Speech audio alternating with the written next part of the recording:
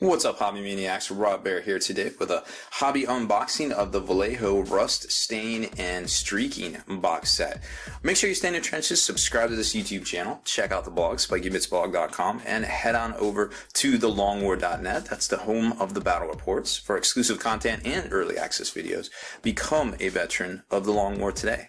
So this is a really interesting little uh, kind of uh, combo deal, I guess, set for doing rust and all sorts of weathering and different effects on your vehicles. And it's a it's a nice little package. It comes with really good looking colors and one wash in here and a step-by-step kind of uh, tutorial so to speak by somebody called scratch mod and i'll be honest i don't know who scratch mod is. I hadn't heard of him but it looks like he does really good work. So i'm on board with that with anything from that guy. Two of the paints in here are, are actually vallejo air colors not that it makes a difference because i actually use the air color a lot of times when i'm painting you know, just uh, normally with a brush because, you know, they're so thin, I know it's not going to dry out on me, you know, kind of while I'm painting it. So here's some of the paints, you know, close up of what you're going to get in here, which I think is really cool. I wish Games Workshop offered something like this, you know, and uh, good on Vallejo for, for, you know, stepping up to the plate and putting something cool out like this because there is really, you know, doing rust and doing rust effects is kind of like the, um,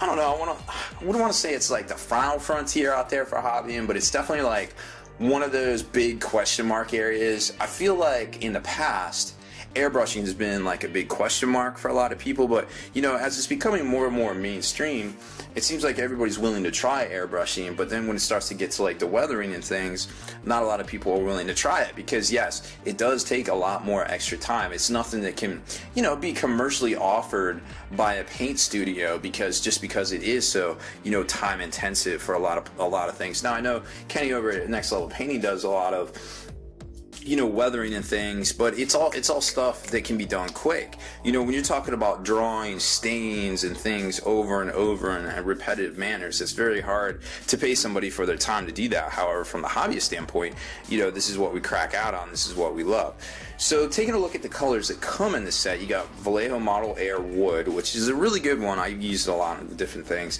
Then you've got Orange Rust, which is a good base for a lot of different things as well in the Vallejo line. Then you've got, which I didn't even know they did, apparently something called Light Rust Wash, which I didn't even know Model Color had some sort of thing. Then you get into the Panzer Aces, which also I'm very unfamiliar with. Um, it's not something that I used to carry at my store, and it's um, it's something that's more for you know kind of like um, a lot of professional modelers out there on the modeling side, not necessarily the hobbyists like we are, but nonetheless it is a hobby in and of itself. So you've got dark rust here, then you've got light rust, which obviously complement each other very well. I feel like. Then you get into what is this one right here? This is orange brown, which also very very cool looking paint. Now you know, if you follow Kenny's tutorials and things over on the next level painting on the Long War, you probably remember a Reaper color called Harvest Brown that he loves so much. And a lot of these actually are looking like this particular one right here, this light light rust looks a lot like uh, Reaper Harvest Brown, to be honest. So that's really interesting to see that there uh, there's a lot of colors out there that we're not that we're still not even familiar with as as hobbyists. Then you've got chocolate brown, chocolate brown, and German camel camouflage, black brown, say that 10 times fast. So all of those together really help to make all the streaking and kind of things come alive in this tutorial by uh, Mr. Scratch Mod himself. So let's take a look at that real quick. So once again, just like the special effects um, tutorial that came uh, with this particular set right here, there's some really good advice in this one and you know they basically give you the basics on highlighting you know the different layers. It all kind of layers up towards the top. Shading you layer into the bottom with the lightest being at the, the bottom and the, the highest being at the top. So it's really you know really basic stuff there. Here's the content colors kind of give you a better idea of what you know they look like when applied. And then they start getting into kind of showing you the rusting and streaking side of things right here and that's where we're kind of going to pick things up. So what I like about this is, you know, they basically go in and they start doing the chipping, which depending on what kind of color you're using, you know, they're saying use this uh, German camouflage black brown right here, okay, which kind of gets you into there and starts making all those chips that you see, right? So you see all these chips kind of like enlarged here, and then you can kind of see them all on the rest of the vehicle. And so what happens is you basically use your base color, which is this deck, uh, what is it, this deck tan right here, and you basically start chipping it up.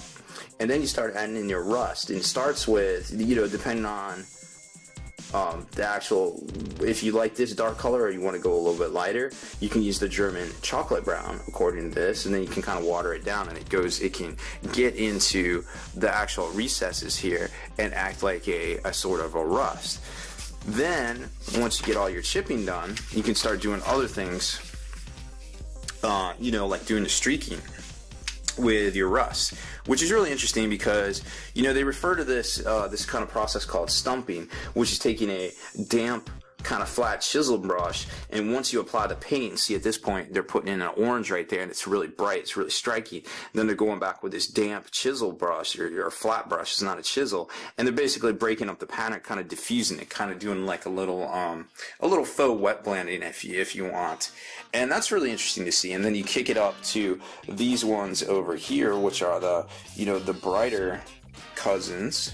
Oh wait not that one one and one. So you got that, uh, the orange rust, and where is it? Oh, here it is, and the orange brown. And you start they start taking it up and doing the same thing over time, and just kind of blending it back and adding in a little bit, you know, watering it down by a third, and you start get, being able to kind of spread it out and add in kind of spread it out here and you can start doing rust the full on like you know pools of rust and things in certain areas. And they also show that you can tape off areas and airbrush it right into you know where you want to go with it. Because remember two of these are actual airbrush paints. So they'll go you know the, you don't even really have to thin them down much. So boom super easy easy game easy life.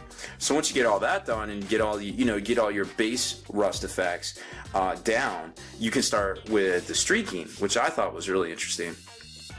Now obviously if you have a lot of space this little brush here is going to take forever to do it. So that's why I'm saying you know to produce the best effects you have to use the smaller scale brushes. It's not something that can really be offered commercially by a studio but you know from a hobbyist standpoint this is you know this is the shit we crack out to and it's always it's always cool to see it on vehicles. And you know people are divided whether they want their stuff clean or they want their stuff you know a little dirtied up but hey I think at the end of the day it's all just personal preference right?